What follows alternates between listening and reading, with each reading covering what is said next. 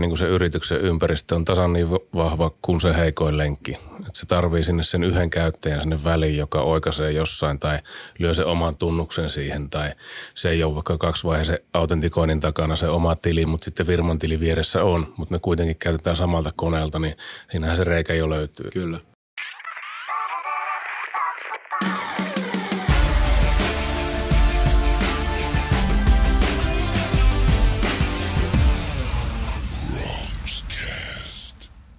Hili Rimpsis, tervetuloa linjoloille.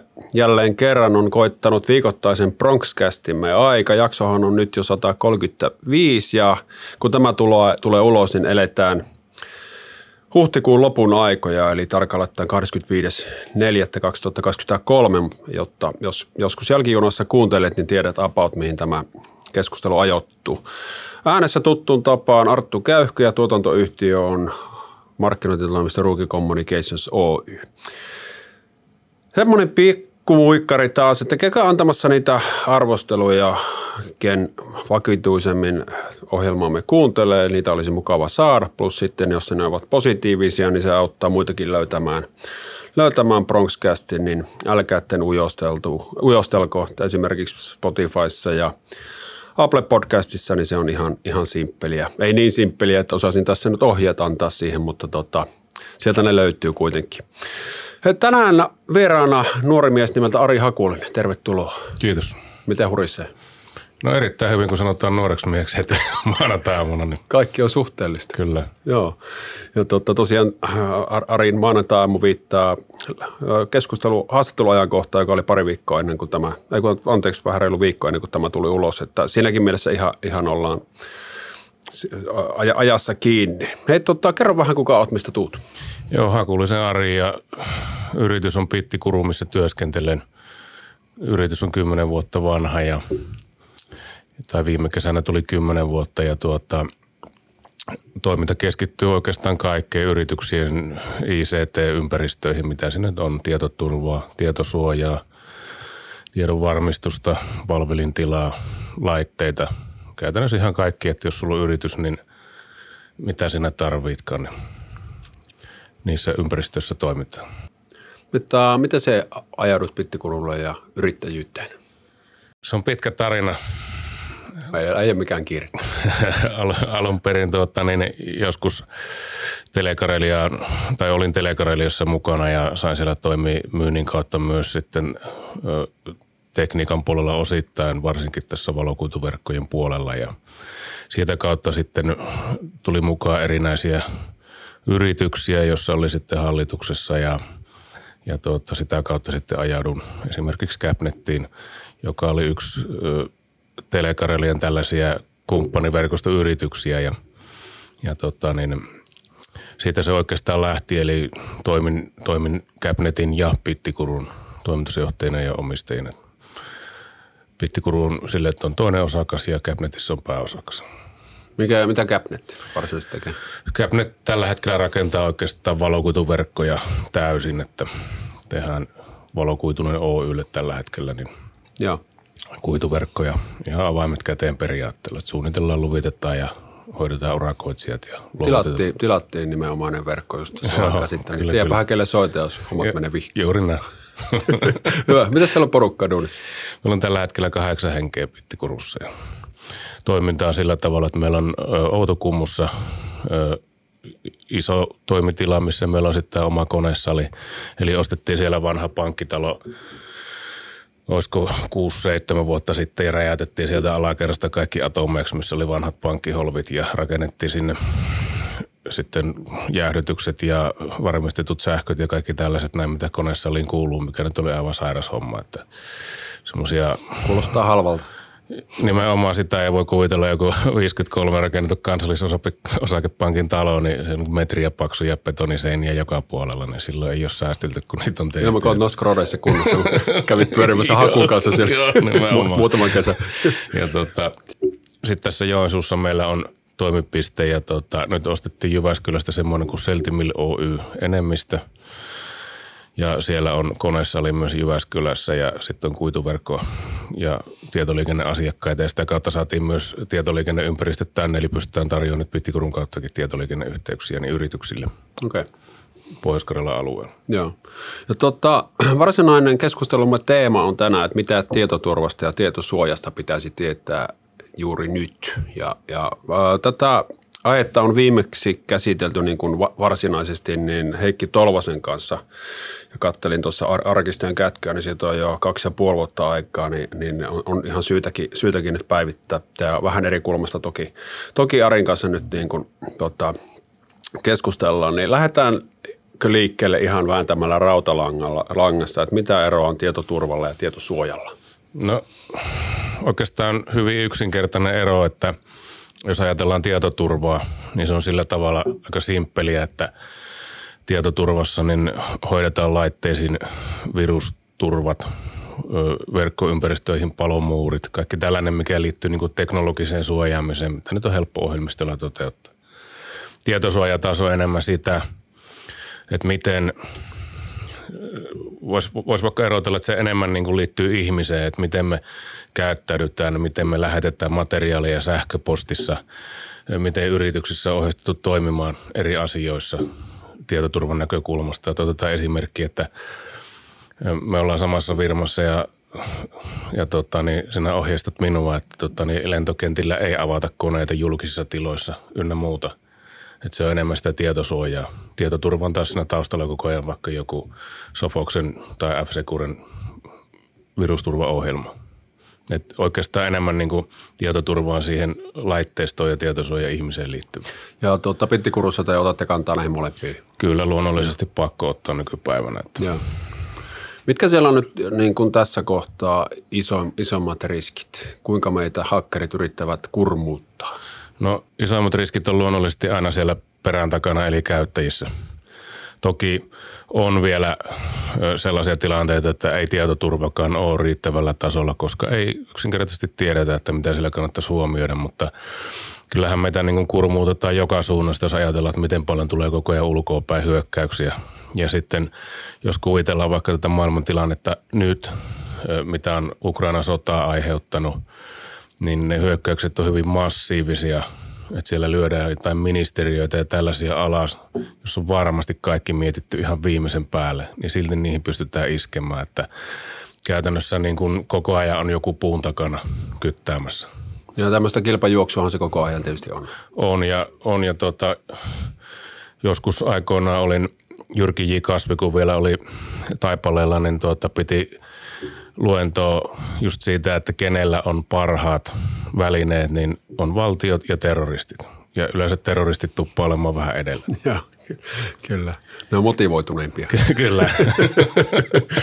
Joo, ja, ja, vaikka nyt naurattaa, niin tämä niin välttämättä ei nauru asiaa, että meilläkin kaapattiin Ruukissa Facebook-tili puolitoista vuotta sitten Joo. mainostili, mainostili. Ei, ei koskaan niin selvinnyt. Piti olla niin kaksoisvarmennustuksesta kaikki tämmöistä niin jiirissä, en tiedä. Ja tota, sitten lopulta oliko kaikilla ja näin poispäin sitä niin saatu koskaan selville. Ja ei koskaan saatu selville, mitä se tapahtui, että pystyttäisiin niin ennaltaehkäisemään. Mutta jumalauta, mikä savotta siinä oli. Ei tullut niin taloudellista vahinkoa, mutta kyllä niin vuosi meni käytännössä selvitellessä, että ennen kuin hommat palautui niin normaaliksi. Ja, ja nythän on esimerkiksi omissa asiakkaissa niin on, on kaapattu niin henkilökohtaisia tilejä, jotka sitten kiinni yrityksen mainostilissä ja taas niin helvetillinen soppa. Että niin kuin tota on tosi paljon koko ajan liikkeellä ja yksi kaurispäivä, kun se sattuu omalle kohdalle, niin hymy hyytyy kyllä.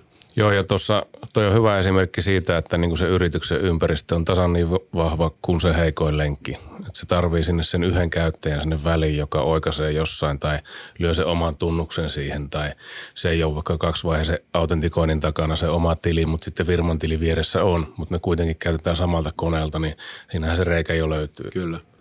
Miten totta tällainen e- estettäisiin? Eli sehän tietysti pitäisi olla pienessäkin firmassa niin ihan prosesseissa ja siellä pitäisi olla ne käytännöt. Ja, ja, mutta miten, miten se niin kuin, kun ymmärretään, että porukat, porukat on kiireisiä ja tämä on tämmöinen niin kuin maailma, josta aika huonosti sitä ymmärrystä todennäköisesti löytyy, eikä ihan kamalasti kiinnostustakaan ennen kuin, ennen kuin kakka iskee tuulettimeen. Niin mitkä on semmoiset selkeimmät stepit, että vältettäisiin tämmöiset ihan niin kuin selkeät riskin paikat? No maalaisjärki on ensimmäinen.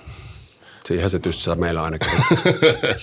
Mutta se, se on niin kuin, jos ajatellaan ihan, että, että niin kuin kalastellaan koko ajan tietoa, kysellään erilaisia käyttäjätunnuksia, pyydetään kirjaantumaan erilaisille tileille, niin se, että miettii nyt ensimmäisenä aina kaksi kertaa, että mihin jättää ne tunnukset. Se, että niin kuin perusasiat kunnossa, kaksivaiheiset autentikoinnit ja ne, että ne on joka tilillä eikä vain yhdellä tilillä ja sitten kuvitellaan, että se on homma ok. Just se esimerkki, että käytetään omaa tiliä ja Virman tiliä vaikka rinnakkain. Ja tietysti niin kuin luonnollisesti ö, laitteilla varsinkin, niin huolehtii se, että päivitykset on kunnossa. Että Microsoftilla esimerkiksi tulee päivityksiä jatkuvasti ja siellä oli nytkin sellainen porsareikä, minkä ne huomasi ja siihen tuli välittömästi päivitys, mutta se, siinä ei tarvinnut edes klikata mitään, että kun se sähköposti pääsi sinne laatikkoon, niin se kaappasi sen koneen. Miten tuollaisen niin estää?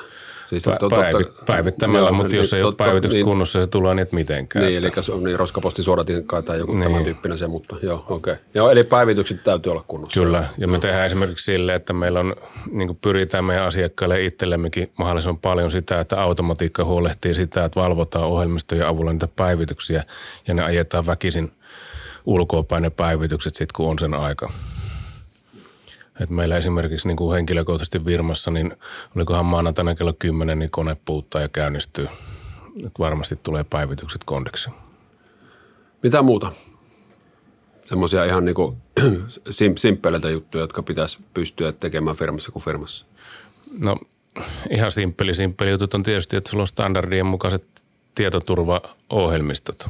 Se on niin kuin simppeleen, että – vieläkin näkee, että on jotakin ilmaisversioita tai tällaisia kuvitella, että ne on ok, mutta ei, ei ne niin kuin voi olla ok, jos vertaa, että siellä on oikeasti sellaisia maksullisia palveluita, mitkä on standardisoitu ja jne, niin niiden ylläpito ja huolehtiminen on ihan eri tasolla kuitenkin. Joo. Mutta se, se oikeasti niin kuin se, että huolehditaan ihan perusasioista ja huolehditaan sitä niin kuin omasta toiminnasta, että, että varsinkin netissä kun surfataan, niin siellähän kalastetaan koko ajan tietoa käytännössä, niin kuin jos mietitään näitä evästeitäkin, mistä varmasti keskustellaan vielä tässä, että, että ei, ei niin kuin enää haeta vain käyttäjätunnuksia, vaan mennään näiden evästeiden kautta istuntoihin mukaan. Esimerkki, että meille tulee koko ajan kotisivuille, kun mennään tai puhelimella, että hyväksy evästeet, hyväksy kaikki. No vaan klikkaat, että hyväksy kaikki. Okei, mistä tiedät, mitä hyväksyt? Hmm. Käytännössä jaat kaiken sitä istunnosta, niin siellä voi olla vaikka jotain ulkopuolisia seuraajia tai vaikka Microsoft seuraa, niin ne hiiren liikkeen tasolla näkee, että miten sinä liikut siellä, mihin kohti pysähtyy hiiri. Jos ajatellaan vaikka, että pakollisissakin evästeissä, että vaikka ruuki tekee kotisivut ja haluat seurata, että miten niitä sivustoja käytetään, että ne on käyttäjä optimoitu ja helppoja käyttää, niin silloin sinä seurat niin evästeillä sitä, että missä ihminen vaikka pysähtyy, mille sivulle, minkä aikaa ja mihin se sitä jatkaa. Mutta sitten kun siinä on ne hyväksy kaikki kohta, niin sitten sieltä voi tulla kolmansien osapuolien seuraajia siihen istuntoon ja ne ottaa se istunnon haltuun kuin sitä kautta. Et käytännössä ne seuraa sitten. Joo, eikä tulisi mie- mieleenkään moinen. Joo. niin kuin, en, ennen kuin sinun kanssa tästä juteltiin viime viikolla, kun taustotettiin keskustelua, niin nyt sitten tota, huomasin, että rupesin kiinnittämään oma, oman käytöksen huomiota, niin aina niin laiskutta, hyväksy kaikki, Joo. hyväksy kaikki, hyväksy kaikki, että ei viitin mennä, että sitten sinne on vaan uusi ikkuna ja valitse sieltä nyt, nyt mitä haluat, haluat niin, niin kuin, ei jaksa. Mutta, mutta sitä se on. Ja hyvä käyttötarkoitus tai hyvä tarkoitus peräasialla, mutta sitten niin kuin kaikilla on puolensa. Että, mutta niin kuin tässäkin, niin turha tässä on panikoitua, että se on – niin kuuluu siihen ja Kyllä, mutta, sen kanssa pitää mutta täytyy, elää. Niin, mutta täytyy ymmärtää, että mitä, Juuri mitä voi tapahtua. Että. Mikä siinä on esimerkiksi, jos nämä, nämä evästeet nyt on, on tota, tietyllä lailla, lailla simppeli esimerkki, että kuka ikinä netissä surffaa, niin näin törmää, niin mikä siellä on oikea tapa nyt tietyllä tavalla? Koska evästeethän lähtökohtaisesti niin, myös niin, kuin, niin sanottu hyviä, hyviä evästeitä, että säästää kirjautumisen Joo. samalta selaimelta ja muuta. Että on, on niin kuin helpottaa sitä käyttää elämää ja tosiaan auttaa auttaa tota, optimoimaan sivustoja ja näin poispäin. Että onko se sitten, että suositellut vai kiellä kaikki vai hyväksy kaikki? Niin kuin? No itse käytän, en tiedä onko mikään paras esimerkki, mutta laitan, laitan joko hylkää kaikki tai hyväksy pakolliset. Joo. Mutta mahdollisimman vähän pyrin sitä, että hyväksy kaikki. Joo. Et se nyt on Mutta hyväksy pakolliset on tietyllä tavalla suht turvallinen. On, Joo. on ja se on kuitenkin niin kuin ideahan siinä, että parannetaan sitä käyttäjäkokemusta sillä sivustolla Juuri liikkuessa, että ei se mikään peikko saa olla. Miten tämä maailma on tämän osalta, tota, tietoturva, tietosuojan osalta muuttunut nyt kymmenessä vuodessa? Tiedän, että paljon, mitä se on, tätä tuota pittikurua tuota, niin, niin, luotsannut, niin, niin kuin sille isossa kuvassa, mitkä, mikä on se isoin, isoin muutos? No varmaan on tullut aika paljon aggressiivisemmat mallit, että ennen oli tällaisia niin kuin lunnasvaatimuksia enemmän, että laitetaan hyökkäys ja otetaan tiedot haltuun ja, ja tota, niin sit maksat X euroa ja saat se auki. Kun nyt on tullut paljon sellaisia, että nyt et saa enää millään auki, kun ne otetaan ja that's it. Että semmoinen niin kuin ehkä paljon aggressiivisemman toimintamallin ideologia tullut tähän taustalle. Mihin nämä kaappaajat niin ensisijaisesti pyrkii? En ole kaappaaja, niin en osaa sanoa, että mihin ensisijaisesti pyrkii, mutta varmaan maine ja, maine ja haittaaminen. Ja sitten tietysti jos ajatellaan vaikka, että ajatellaan nyt niin kuin sodankäynnin kannalta, että haitataan ihan yrityksien toimintaa, niin aiheutetaan katastrofeja yrityksille lyömällä kaikki kiinni. Kyllä. Koska jos ajatellaan yrityksien toimintaa nykypäivänä, niin kotisivut ja kaikki, mitä liittyy tiedonsiirtoon jne, niin se on ihan niin kuin meille pakollinen maitokaupassa käynti. Että ilman sitä ei yritys pärjää nykypäivänä. Ja jos se kyykätään, että sulla on kauppa sulettu, niin kyllähän se on vähän hankala sen jälkeen toimia. Mites tota, niin tämä, tämä juuri näin niin kuin isossa, isossa kuvassa ja tuolla, tuolla niin kuin korkealla tasolla, mutta entä sitten nämä samat tyypit, jotka silloin saattoi pyytää sitä 102 euroa, euroa niin kuin lunnata, että saa koneet auki, niin jos ne nyt kaappaa koneen, niin onko niillä sitten kuitenkin tavoitteena päästä vaikka luottokorttien tietoihin tai, tai johonkin tällä. Että jo- joku eu- eurohan siellä tietysti on tässä, tässä portaassa mielessä, niin mikä, mikä siellä on? No on, on se on siellä- sieltä logiikka. Totta kaihan siellä on ja sitten pienistä puroista, kun niitä tulee niin älyttömästi, niin ihmisethän maksaa niitä uhkauksia koko ajan. Se on ihan järkyttävä bisnes, mitä siellä oikeasti pyörii. Kun me ei olla vaan pelkästään Suomessa, vaan ajatellaan, että paljon maailmalla on koneita käytössä. Paljon siellä on käyttäjiä. Ne on järkyttäviä rahoja, mitä siellä pyörii. Ja toinen on sitten, että niin kuin, nyt on mediassakin nähty näitä, että joku nuori kaveri saattaa kaapata tiedot ja vuottaa ne nettiin ja sitten jopa hymeksii tuolla oikeussalissa. Niin tämä niin. Niin. niin oli tämä, joo, tämä va- vastaamo keissi. Siinä oli kiristysyritys taas Niin, sitten. va- että, vaikea niin kuin joo. hahmottaa sitä, että mitä siinä niin kuin isossa kuvassa haetaan, että voi hetkellisesti olla joku hyvä olon tunne tai sitten kuvitellaan, että nyt tehdään tässä rahaa, mutta ehkä se vähän kääntyy sitten vastaan. Joo. Mutta tota, no, oli motiivit mitkä oli, niin yhtä kaikki hereillä kannattaa olla. Hei, mitäs tiedon säilyttäminen? Mennään, mennään sinne, niin kun se en, ennen oli niin kuin kova levy, nyt se on pilvi, niin mitä tämä aiheuttaa? No ideologia sinänsä niin ei ole muuttunut. Tiedot pitää olla turvassa ja ne pitää olla varmistettu. Siinä tulee ehkä aika paljon sellaisia mm, harhakuvitelmia, varsinkin pilvipalvelussa, että kuvitellaan, kun otetaan joku pilvipalvelu käyttöön, että tieto on silloin tallessa, kun se on pilvessä. Edelleen se sieltä pilvestä pitää se tieto varmistaa johonkin toiseen paikkaan. Se on ihan sama, jos se tieto häviää sieltä pilvestä, niin se et välttämättä löyä mistään. Kiintolevyltä sen voi saada vaikka eheytettyä, mutta pilvestä välttämättä löydä enää No, mistään. tämä on varmaan yleinen harhaluulo, ajattelee, että ne on pilvessä turvassa, niin ne on aina sitten varmuuskopio. Niin, Joo, se on todella yleinen harhaluulo, että otetaan vaikka joku tämmöinen Teamsin tiedosto, mikä on se tiedostopolku jotakin siellä ja siellä on kaikki firman markkinointitietoja, asiakastietoja ja muu ja kuvitellaan, että ne on siinä, niitä päivitellään, että okei se pysyy siellä, mutta sitten kun ne häviää siitä, eikä niitä ole varmistettu, niin sitten niitä ei tiedä missä ne on. Joo. Tota, niin kun huomaa itsekin, niin va- valokuvia en muista milloin viimeksi on teettänyt, niin on kännykällä niin tota, toistakymmentä tuhatta. Joo, Katoin, että niin kun lävähtää, lävähtää le, le, tota, silleeksi, niin kylläpä harmittaa, että siellä on hyvin paljon niin lapsi, lapsista ja tämmöisistä, tämmöisistä niin tota, Niin ja sitten tietokoneella ja missä kaikkialla. kyllä. Itse sentään joskus niitä purkaa tietokoneelle, mm. mutta, mutta ei tuossa niin vähän aika sitten itsellä meni puhelin kyykkään ja kävi itse asiassa sillä tavalla, että akku loppui ja ei vaan käynnistynyt. Se oli siinä. Joo, okei. Okay. Hei, tota, mitäs GDPR, josta se, silloin jo, tota, ma- maalattiin kauhukuvia paljon tästä nyt on aikaa, varmaan neljä. Milloin se tuota, Muutama vuosi. Muutama vuosi, joo. Useampi vuosi, vuosi sitten. Ja nyt sitä nyt ei hirveästi, hirveästi tuota, os, sillä tavalla puhuttu, mutta sieltähän se ei tietenkään mihinkään hävinnyt päin, päin vastoin. Että tuota, niin, niin koko ajan enemmän pitää tämäkin puoli ottaa huomioon. Niin mitä, mitä siitä, siitä niin kuin pitäisi tietää tässä kohtaa?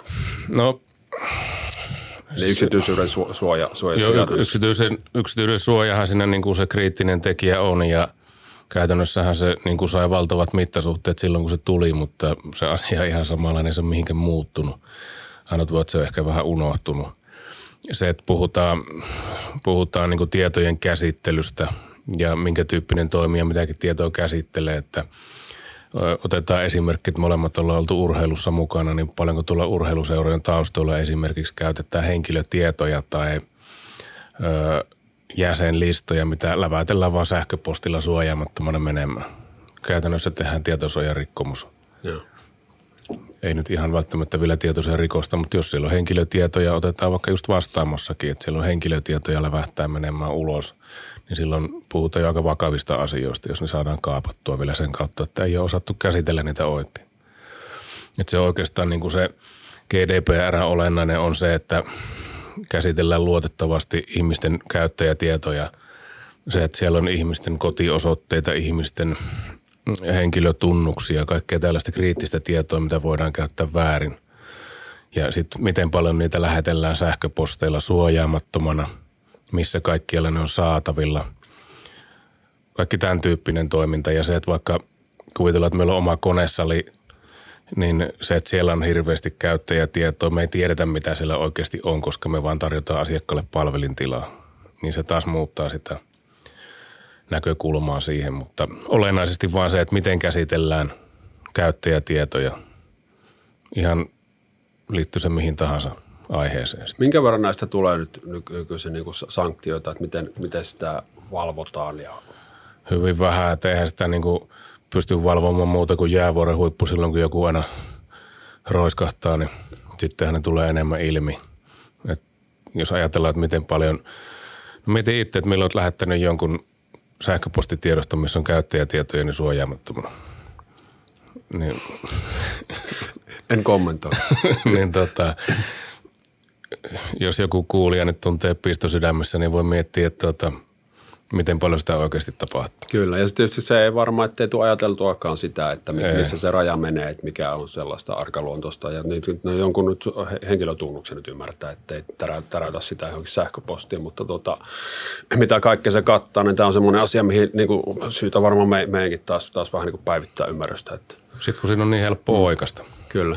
No se, siinä se onkin, ja sitten siinä kiireessä. Niin. kiireessä niin, no kiire nyt on meillä aina niin, hyvä niin, selitys niin, Eikö, ei, kun niin, ja sitten ei se, nyt ei, ei, se on sitten niin kuin, ei, ei, ei, ei, ei ole force major, major jos tuota jotain, jotain sattuu, mutta tätähän tämä on, että, että mikä tekee tästä tietysti sen hankalan, hankaluuden, kun siinä arjessa on koko ajan varmasti tätä, niin kuin, niin kuin on, onkin, tota, asioita, joita pitäisi pystyä niin kuin tietosuoja- ja tietoturva niin kuin valossa tarkastelemaan. Eihän tällainen tav- tavallinen palikka, niin niin kuin tullaan siihen, että ei tullut mieleenkään, kun jotain sattuu. Niin se menee, mutta, juttu. Niin. Mutta jos ajatellaan niin kuin, vaikka pankit ja vakuutusyhtiöt on hyvä esimerkki siitä, että ne ei lähetä kyllä mitään tietoa suojaamattomana tai sitten oman järjestelmän kautta. Että. Mikä on helpoin tapa jollekin, vaikka jos puhutaan ihan pienyrityksestä, niin suojata ottaa sähköposti, salatu sähköpostipalvelun käyttöön, niin se on niin kuin hyvin Joo, se ei ole sen monimutkaisen. Joo. Ja ei, tuskin lienee kustannuskysymys. No ei, ei ole. Joo.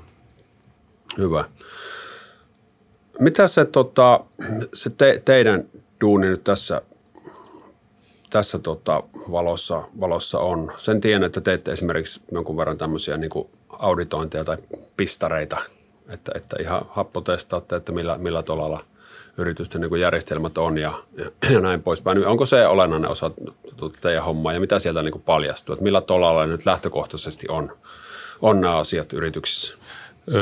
No joo, tehdään jonkun verran. Sanotaan, että varmaan pikkusen liian vähän, että ehkä yritykset ei tiedä, että tällaisia palveluita on niin todella pienellä rahalla saatavilla. Että tehdään tämmöinen yritykset, jos sulla on vaikka sanotaan 50 työntekijää tai 50 käyttäjätiliä – niin tehdään tämmöinen kalastelukeissi. me sovitaan, että me pumpattaisiin vaikka ruukien käyttäjät läpi, että miten ne toimii eri tilanteissa. Sinäkään et itse tiedä, milloin ne tulee ne viestit. Tehdään vaikka kolme esimerkkiä. Siinä voi olla ihan joku, joku Facebook-kirjaantuminen tai, tai siinä voi olla joku ihan Ruutu Plusan kirjaantuminen tai tällaisia. Niin kuin se tehdään just identtiseksi se lomake ja sitten se laitetaan firman käyttäjille kaikille ja katsotaan moniko klikkaa ja yleensä tuommoinen muutaman kymmenen käyttäjän porukka, niin aina sieltä löytyy yksi tai kaksi, joka tössii jossain kohti. Ja se on mun mielestä niin kuin yllättävän, miten sen sanoisi, yllättävän helposti kuitenkin saat sen tiedon, jos haluaisit niin kuin hyökkäinä kalastella. Joo. Mutta tämmöinen yksinkertainen esimerkki, mikä voidaan tehdä hyvinkin helposti. Ja niin kuin sanoin, niin valitettavan vähän niitä kuitenkin tehdään vielä, että nähdään. Ja se ehkä enemmän liittyy nyt siihen, siihen taas niin kuin yrityksen tietoturvapolitiikkaan, että nähdään, että miten yrityksen käyttäjät yrityksen koneita käyttää. Että välttämättä ei tule ihan aina toimitusjohtajalla tai kukaan vastuussa mieleen, että lähtisikö ensimmäisenä tekemään tämmöisen stressitesti, että – miten meidän tilejä käytetään tai koneita käytetään. Ja tota, että tästä nyt tulisi ihmiset ihan, ihan niin kuin vainoharhaiseksi ja usko, uskaltaisivat avata, avata, avata tälläkin viikolla koneissa viimeistään, viimeistään keskiviikkona, niin tota, onko, onko jotain semmoisia lähteitä tai materiaalia, mitä voisi vaikka linkittää tuohon tohon, tota, show notesihin, josta tietyllä tavalla niin kuin pääsee kartalle, mitkä esimerkiksi nyt juuri niin kuin tullut kalastelu, tyypilliset kalasteluyritykset ja niin kuin tämän tyyppistä. Ja tai sitten joku, onko teillä ihan Pittikurun sivulla joku, joku niin kuin tietoturva, tietosuoja APC-tyyppistä matskua. Niin Valitettavasti sä, ei ole, mutta kyllä oikein vähän sellainen, että jos me nyt laitetaan, niin se voi olla, että se on niin, myöhässä. Niin, ymmärrän kyllä. Niin se, että kyllähän niin kuin netistä löytyy tietoa ihan tolkuttomasti. Ja niin kuin sanoit, niin, niin kuin järki pitää olla sinnekin kädessä, että, että näiden asioiden kanssa vaan pitää elää – mutta se, että pitää ymmärtää jotakin edes, mitä tekee. Että.